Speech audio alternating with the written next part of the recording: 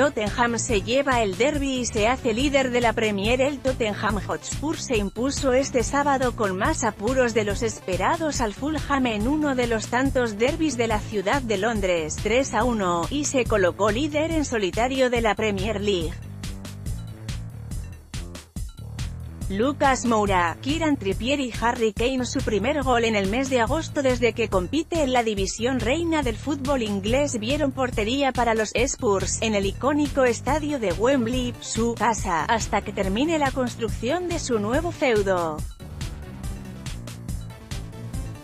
Adjunto 1 de 1 El equipo de Mauricio Pochettino derrotó en la primera fecha al Newcastle United por 1 a 2 y suma pleno de triunfos, todo lo contrario que los hombres de Slavisa Jokanovic, a los que les está costando en su regreso a la Premier, dos derrotas en dos jornadas.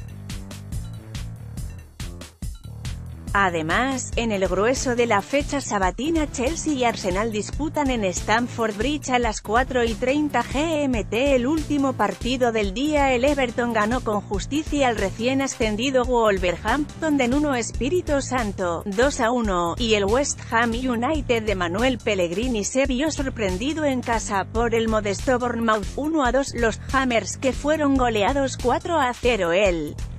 pasado sábado por el Liverpool, acusaron el mal acoplamiento de sus nuevos refuerzos y, pese a adelantarse en el marcador con un tanto de penalti de Marco Arnautovic, se relajaron incomprensiblemente en el segundo tiempo y dos goles en seis minutos de los Cherries Callum Wilson en el 60 y Steve Cook en el 66 silenciaron el Estadio Olímpico de Londres.